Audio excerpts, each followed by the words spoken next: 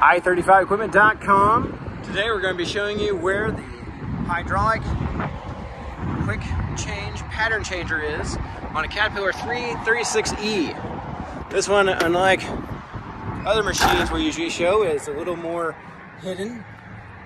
First thing, crawl into the operator station, lift up this floor mat, doesn't look like there's anything there. Lift that up, pull up this plate, voila, there it is. So just uh, make sure your machine is off or consult your owner's manual for the best way they recommend doing it. Uh, we go usually turn ours off and then you just twist the handle so that you can select whichever pattern that your operator is most comfortable operating. So no matter who's operating your machine for you, they will be comfortable operating it with the pattern that they're most familiar with. Thanks for watching. Hope you have a great day. As always, you can see our full and up-to-date inventory of Simon Head Equipment online. Visit i35equipment.com. Uh, Have a great day.